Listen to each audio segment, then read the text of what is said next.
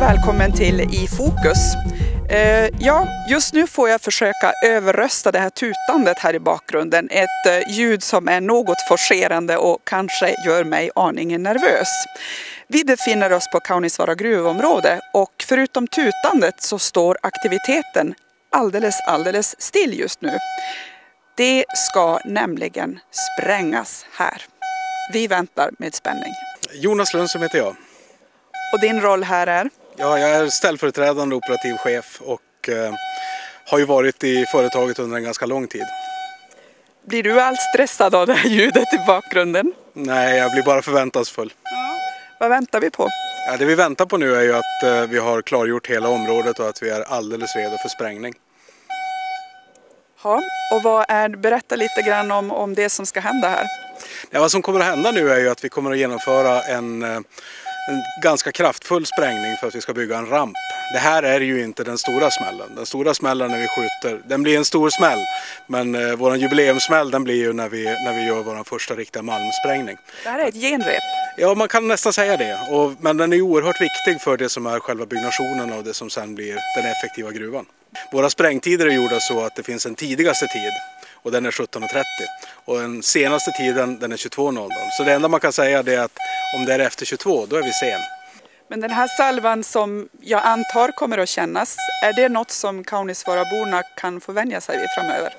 Ja, det, det, kommer att krävas rätt mycket sprängmedel för att, få, för att få fram det material som vi ska bearbeta i vårt anrikningsverk. Så är det. Men eh, vi kommer ju inte att spränga varje dag. Det kommer ju kanske bara vara högst två gånger i veckan eller någonting sådant. Det beror ju lite grann på förhållandena.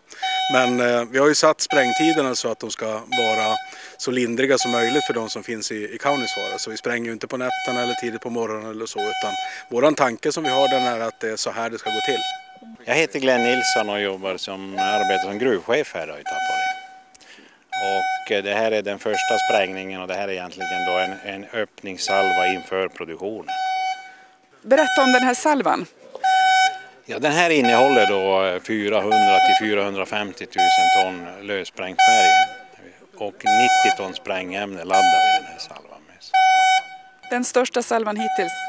Den största, för, första och största. Ja. Ska vara en kilometer bort tydligen. Ja, tusen meter där är det säkraste ståndet för oss och 400 meter är maskinerna. Alltså. Mm. Är du nervös nu då? Nej, inte så farligt. Jag blir väldigt stressad av det här ljudet men jag är ju novis å andra sidan. nej då, så nej, nej, det... nej då, så det blir kul. Så är det, så att, eh, det skriver lite historia i sig nu så. Ja.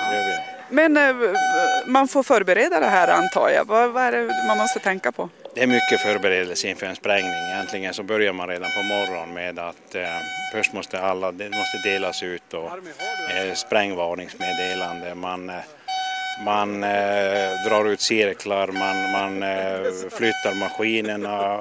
Varenda person inne på området här måste känna till. Och vi är ett par, tre, fyra hundra stycken här så det är, det är ganska mycket jobb. Det är egentligen, egentligen så är det så att det är flera dagars arbete inför en sprängning bara för, för, för att vara på den säkra sidan. Sen är det några yngre män som anländer här, fyra, fem stycken och det här är tydligen de som har grävt ner salvorna. Och de lär ha hållit på i de fyra senaste dagarna. Ha. Nu börjar det här bli riktigt nervigt faktiskt. Här börjar folk att fälla ner hörselkåporna för öronen och så gör de någon slags test här där de trycker på och här står en man och håller i den här rosa, förmodligen stubintråden. Detta måste alltså vara Dynamit-Harry. Vi ska se om det är rätt man. Nu är det anrop i walkie-talkien.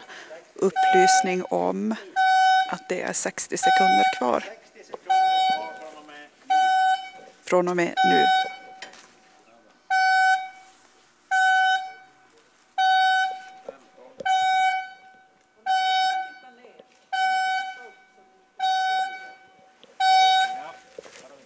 Ska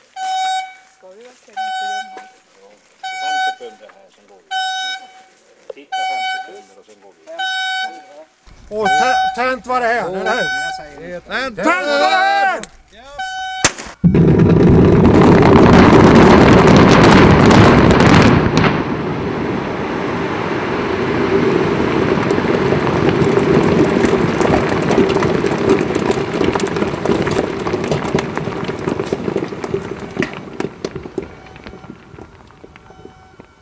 salvan är skjuten och röken, dimman ligger i luften. Peter Pernlöf, det var du som tryck. Ja, eh, en, hälften av trycket ja. okej. Det stämmer. Och vad, vad är din titulering? Eh, CEO, Chief Operating Officer. Ja, vad säger du? Gick det som planerat? Ja, absolut. Det blev ännu mer effektfullt än jag hade vågat hoppas på. Ju. På vilket sätt då? Ja, du såg ju att rökridån var högre och smällen var längre. Hur ofta trycker du av sådana här salvor? Inte ofta. Det är en historisk dag för mig. Han du vara nervös? Nej, Helt lugn. precis. Så att, eh, nej, det fungerar alldeles utmärkt. Nu kommer lukten också. Det luktar krut. Precis. Ja, det kanske luktar pengar ska man säga. Ja, det här var ju en gråbärssprängning så att eh, malmsprängningen kommer längre fram. Ja. Är det du som kör då också? Nej. Nej. Uff, shit! Oh, hjärtat bankar, pulsen steg. Nu fick vi komma ut från plåtcontainern. Inget stenregn, men tjock rök. Salvan har lyckats.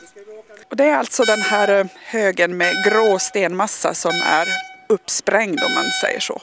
Vi säger hej då från I fokus och på återseende.